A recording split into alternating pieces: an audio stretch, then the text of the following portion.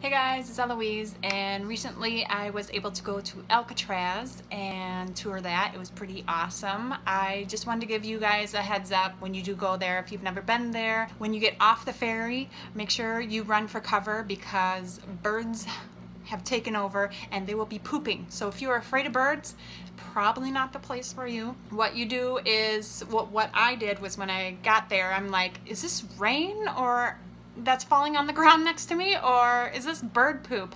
And of course you don't want to look up when birds are pooping because you don't want it on your face. So I just looked at my neighbors and I was like, oh my gosh, they have bird poop on them. So then I looked at the ground and I'm like, there's a lot of bird poop right here, but not so much over there. So I stayed away from where all the bird poop was.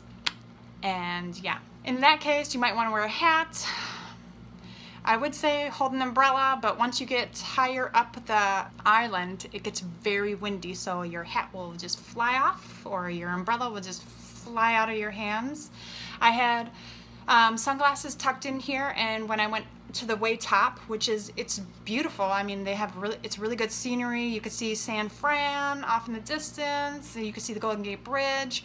But as you walk towards the Golden Gate Bridge, there's just a huge gust of wind and it's all the time. Like it's, it's fierce. And so it took my sunglasses that were tucked in here and it was like, and they just flew and then they hit the ground and they broke. And I was like, what? I just got these, damn it. So that is what happens. So hold on to your toupees, your wigs, and your hats because, oh my gosh, they will be flying off when you get to the top of the island. But like I said, it's beautiful and you should go check it out. All right. Also, it's intense bird poop smell. So it's like a bird zoo.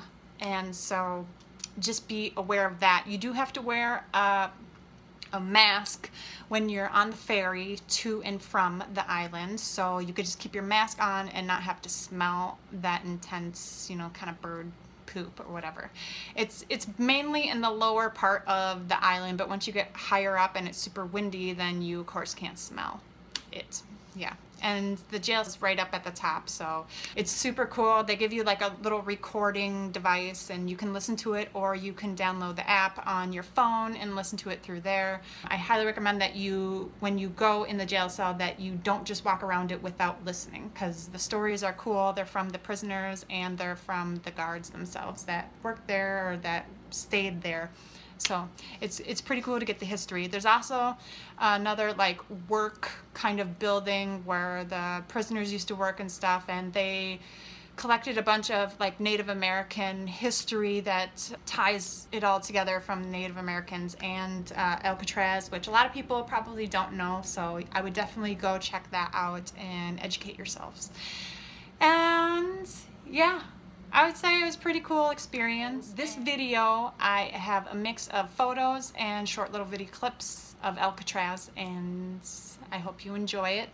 If you have any questions, you can put them in the comment section. I'll get back to you as soon as possible. Otherwise, you know, just like the video if you like it and I will see you around. All right, bye guys.